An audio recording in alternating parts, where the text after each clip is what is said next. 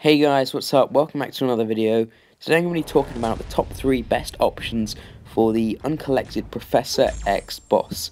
So I'm starting off with number 1 and I've gone with Human Torch because Human Torch is very helpful for this fight because number 1, most fights where he has his Nova Flame active at the beginning, which is pre-fight, he's going to deal tons of damage, tons of power sting damage when they activate specials, but also when he has over um, he has over 10 temperature, he will be able to bypass um, his miss mechanic which Professor X has, which means that we don't have to worry about his faltering, and we can just keep hitting into him with no worries.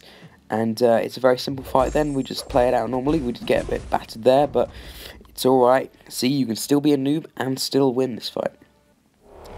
But my next option is Archangel. So Archangel uh, obviously has great ability accuracy reduction when you get those poisons that bleeds, convert them into some neuros, and deal some very nice damage. So very simple fight like that. We can also disable some of his abilities.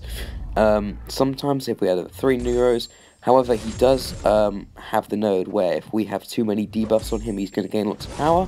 However you can work around this and you know you can get him to an SP2 quickly so you can fire that off.